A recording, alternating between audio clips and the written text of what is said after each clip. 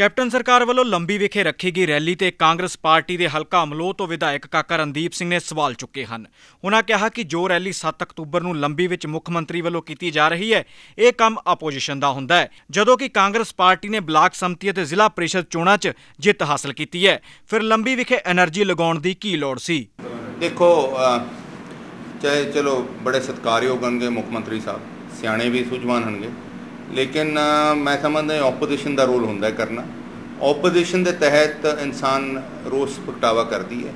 ਇੱਕ ਸਰਕਾਰ ਦਾ ਸਾਰੀ ਜਿਹੜੀ એનર્ਜੀ ਹੈ, ਇੱਕ ਲੰਮੀ ਜਾ ਕੇ ਲਿਜਾਣ ਦੀ ਲੋੜ ਨਹੀਂ ਸੀਗੀ, ਕਿਉਂਕਿ ਲੋਕਾਂ 'ਚ ਆਲਰੇਡੀ ਜਾਗਰੂਕ ਹੋ ਚੁੱਕੇ ਆ ਲੋਕਾਂ ਨੇ ਇਹਦੇ ਨਤੀਜੇ ਤੁਹਾਡੇ ਬਲਾਕ ਸੰਮਤੀ ਜ਼ਿਲ੍ਹਾ ਪਰਚੇ ਦੇ ਦਿੱਤੇ ਹਨਗੇ ਔਰ ਮੈਨੂੰ ਸਮਝਦਾ ਇਹ ਲੋੜ ਨਹੀਂ ਸੀਗੀ ਲੰਬੀ ਚ ਕਰਨ ਲਈ ਤੇ ਕੌਣ ਨੂੰ ਅਸੀਂ ਬੇਫਜ਼ੂਲ ਦੀ ਦੁਬਾਰਾ ਜਾਣ ਪਾਣ ਲਈ ਇਕੱਠੇ ਹੋਣ ਦਾ ਇੱਕ ਮੌਕਾ ਦੇ ਰਹੇ ਹਾਂ।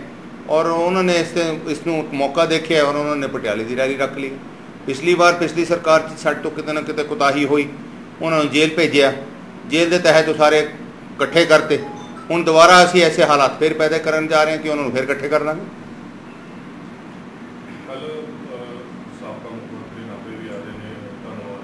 ਦੇਖੋ ਜੋ ਪੰਜਾਬ 'ਚ ਬਲਾਕ ਸੰਮਤੀ ਤੇ ਜ਼ਿਲ੍ਹਾ ਪਰਿਸ਼ਦ ਦੇ ਨਤੀਜੇ ਆਏ ਆ ਉਸ ਤੋਂ ਜ਼ਾਹਿਰ ਹੁੰਦਾ ਹੈ ਕਿ ਜਸਟਿਸ ਰਣਜੀਤ ਸਿੰਘ ਦੀ ਰਿਪੋਰਟ ਦਾ ਕਾਫੀ ਲੋਕਾਂ 'ਚ ਪ੍ਰਭਾਵ ਪਿਆ, ਅਸਰ ਪਿਆ ਕਿਉਂਕਿ ਬਕਾਇਦਾ ਮਨੁੱਖਤਾ ਦੇ ਤਹਿਤ ਜੇ ਅਸੀਂ ਜਿਵੇਂ ਸਾਡੇ ਗੁਰੂ ਸਾਹਿਬ ਦਾ ਫਰਮਾਨ ਸੀ, ਗੁਰੂ ਗੋਬਿੰਦ ਸਿੰਘ ਮਹਾਰਾਜ ਜੀ ਨੇ ਕਿਹਾ ਸੀ, ਗੁਰੂ ਮਾਨਿਓ ਗ੍ਰੰਥ ਉਸ ਦੀ ਮਰਿਆਦਾ ਤੇ ਮਾਨਤਾ ਨੂੰ ਬਰਕਰਾਰ ਰੱਖਣਾ ਸੀ, ਤਾਂ ਸਾਡਾ ਬਕਾਇਦਾ ਫਰਜ਼ ਬਣਦਾ ਸੀ ਕਿ ਐਸਜੀਪੀਸੀ ਦੇ ਜਿਹੜੇ ਜਿਹਨੇ ਜ਼ਿੰਮੇਵਾਰੀ ਲਗਾਈ ਜਾਂਦੀ ਹੈ, ਗੁਰੂ ਗ੍ਰੰਥ ਸਾਹਿਬ ਦੀ ਮਰਿਆਦਾ ਤੇ ਮਾਨਤਾ ਨੂੰ ਬਰਕਰਾਰ ਰੱਖਣਾ।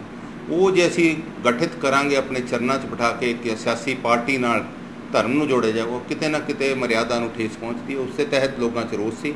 ਔਰ ਇਹੀ ਇੱਕ ਸਾਬਤ ਹੋਇਆ ਹੈ ਲੋਕਾਂ ਦੇ ਤਹਿਤ, ਜਸਟਿਸ ਰਣਜੀਤ ਸਿੰਘ ਦੀ ਰਿਪੋਰਟ ਜਿਹੜੀ ਆਈ ਹੈ ਕਿ ਗੁਰੂ ਗ੍ਰੰਥ ਸਾਹਿਬ ਦੀ ਬੇਅਦਬੀ ਉਸ ਨੂੰ ਦੇਖ ਕੇ ਸ਼ਾਇਦ ਕਈਆਂ ਦੇ ਮਨਾਂ 'ਚ ਰੋਸ ਪੈਦਾ ਹੋਇਆ ਕਿਉਂਕਿ ਨਤੀਜੇ ਐਸੇ ਆਏ ਹਨਗੇ ਔਰ ਜਿਹੜੇ ਪੰਜਾਬ 'ਚ ਅਕਾਲੀ ਪਾਰਟੀ ਅਜੇ ਤੱਕ ਹਾਵੀ ਰਹੀ ਹੈ, ਉਹਨਾਂ ਤੇ ਕਿਤੇ ਨਾ ਕਿਤੇ ਆਪਸ 'ਚ ਤਰੇੜ ਆਂਦੀ ਦਿਖ ਰਹੀ ਹੈ।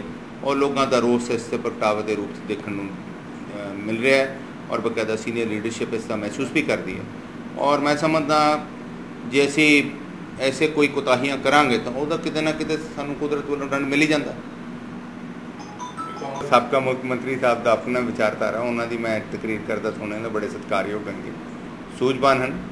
ਉਹਨਾਂ ਦਾ ਆਪਣਾ ਹੱਕ ਹੈ, ਆ ਸਕਦੇ ਹਨਗੇ ਔਰ ਜਿੱਥੇ ਤੱਕ ਸਵਾਲ ਹੈ, ਅਸੀਂ ਤਾਂ ਪਹਿਲਾਂ ਵੀ ਉਹਨਾਂ ਦੀ ਸਰਕਾਰ ਵੇਲੇ ਮੰਗ ਕੀਤੀ ਸੀਗੀ। ਹੁਣ ਵੀ ਕੈਪਟਨ ਸਾਹਿਬ ਤੋਂ ਮੰਗ ਕਰ ਰਹੇ ਕਿ ਸਾਡਾ ਜਿਹੜਾ ਜ਼ਿਲ੍ਹੇ ਦਾ ਹੱਕ ਹੈ ਸਾਨੂੰ ਜ਼ਿਲ੍ਹੇ ਦਾ ਦਰਜਾ ਦਿੱਤਾ ਜਾਵੇ ਕਿਉਂਕਿ ਸਾਡੀ ਸਿੱਖੀ ਕੌਮ ਦੇ ਇਤਿਹਾਸ ਬਹੁਤ ਨਾਭੇ ਦਾ ਰਿਆਸਤ ਦਾ ਯੋਗਦਾਨ ਰਿਹਾ ਔਰ ਅਸੀਂ ਇਹ ਜ਼ਿਲ੍ਹੇ ਦੀ ਜਿਹੜੀ ਮੰਗ ਹੈ ਫਰਮਾਇਸ਼ ਹੈ ਦੀ ਜਦ ਤੱਕ ਮੇਰੇ ਸਵਾਰਥ ਰਹਿਣਗੇ ਜ਼ਿੰਦਗੀ ਰਹੇਗੀ ਉਦੋਂ ਤੱਕ ਮੈਂ ਮੰਗਦਾ ਰਹਾਂਗਾ।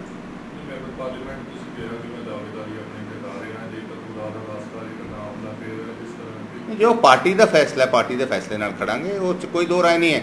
ਲੇਕਿਨ ਮੇਰਾ ਹੱਕ ਹੈ ਅਧਿਕਾਰ ਹੈ ਜਮਹੂਰੀਅਤ 'ਚ ਹਰ ਕੋਈ ਇਨਸਾਨ ਟਿਕਟ ਮੰਗ ਸਕਦਾ ਔਰ ਜਿਹੜਾ ਮੇਰਾ ਹੱਕ ਹੈ ਮੈਂ ਜਿਤਾਵਾਂਗਾ ਕਿਉਂਕਿ ਮੇਰੀ ਸੀਨੀਅਰਿਟੀ ਬਣਦੀ ਹੈ ਮੇਰੇ ਪਰਿਵਾਰ ਨੇ ਚਾਰ ਪੀੜ੍ਹੀਆਂ 'ਚ ਕਾਂਗਰਸ ਦੀ ਸੇਵਾ ਕੀਤੀ ਹੈ। ਔਰ ਮੈਂ ਜੇ ਪੈਦਲ ਯਾਤਰਾ ਸ਼ੁਰੂ ਕਰ ਰਿਹਾ ਤਾਂ ਕੁਛ ਨਾ ਕਿਸੇ ਸੋਚ ਸਮਝ ਕੇ ਕਰ ਰਹੇ ਹਾਂ? ਇੰਨੇ ਸਿਆਸੀ ਤਜਰਬਾ ਹੁੰਦੇ ਹੋਏ ਤਾਂ ਬੇਫਜ਼ੂਲ ਪੈਦਲ ਯਾਤਰਾ ਤਾਂ ਨਹੀਂ ਕਰਨ ਜਾ ਰਹੇ। ਕਦੋਂ ਸ਼ੁਰੂ ਹੋਣੀ ਹੈ ਤੁਹਾਡੀ ਪੈਦਲ ਯਾਤਰਾ? ਮੇਰੀ ਜਨਵਰੀ 'ਚ ਹੀ ਜਾਣੀ ਜੀ। ਬਿਲਕੁਲ ਤਿਆਰੀ ਚੱਲ ਰਹੀ ਹੈ। ਔਰ ਮੇਰੇ ਪੂਜਨੀय ਮਾਤਾ ਜੀ ਦਾ ਜਨਵਰੀ 'ਚ ਉਹਨਾਂ ਦਾ ਬਰਸੀ ਆਣੀ ਹੈ। ਔਰ ਇੱਥੇ ਅਖੰਡ ਪਾਠ ਦਾ ਭੋਗ ਹੋਣ ਤੋਂ ਬਾਅਦ ਗ੍ਰੰਥੀ ਉਸ ਦੇ ਤਹਿਤ ਮੈਂ ਪਿੰਡ ਪਿੰਡ ਜਾਣਾ ਸ਼ੁਰੂ ਕਰ ਦੇਣਾ ਹੈ ਔਰ ਪੈਦਲ ਯਾਤਰਾ ਦੇ ਰੂਪ 'ਚ ਨਾਭੇ ਤੋਂ ਸ਼ੁਰੂ ਕਰਨਾ ਹੈ। ਦੇਖਣਾ ਕਿੰਨਾ ਖੰਗਾਰਾ ਮਿਲਦਾ ਔਰ ਪੂਰੇ ਪਟਿਆਲੇ ਜ਼ਿਲ੍ਹੇ ਦੀ ਮੈਂ ਪੈਦਲ ਯਾਤਰਾ ਕਰਾਂਗਾ।